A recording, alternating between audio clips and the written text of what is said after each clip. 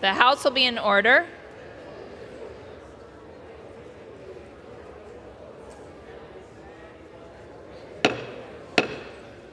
The House will be in order.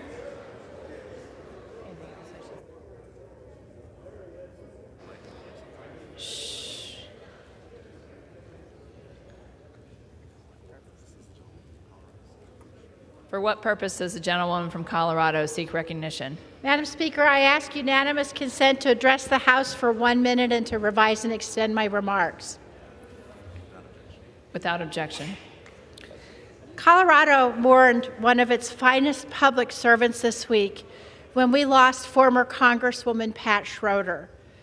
Pat was a pioneer for women's rights, and she was the first woman ever elected to represent the state of Colorado in the U.S. House. For 24 years, she fought tirelessly in this chamber to expand the rights of women, families, and children across this country. She co founded the Congressional Women's Caucus, and she was the first woman ever elected to, or selected to serve on the House Armed Services Committee. She championed legislation to protect pregnant workers, women in the military, and she was the driving force between the Family and Medical Leave Act. What made Pat so unique, though, wasn't just the brilliance that she had or her passion for public service. It was her razor sharp wit. Pat could trade barbs with anybody at a moment's notice on any subject. She could disarm her most harsh critics with humor and grace.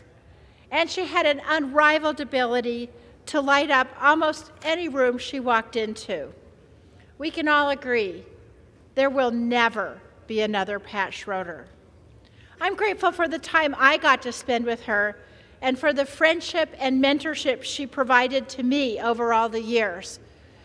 This is something that doesn't happen very often, but Pat was elected to Congress when I was in high school.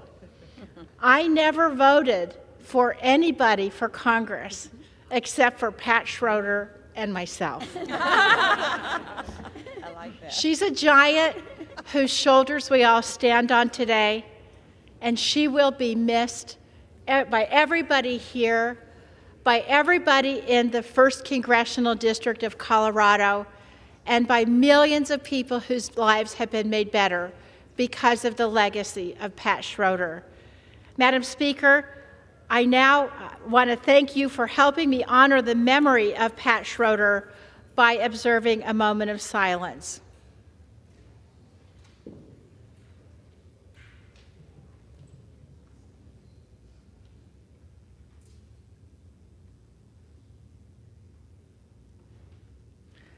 Thank you, Madam Speaker, and I yield back.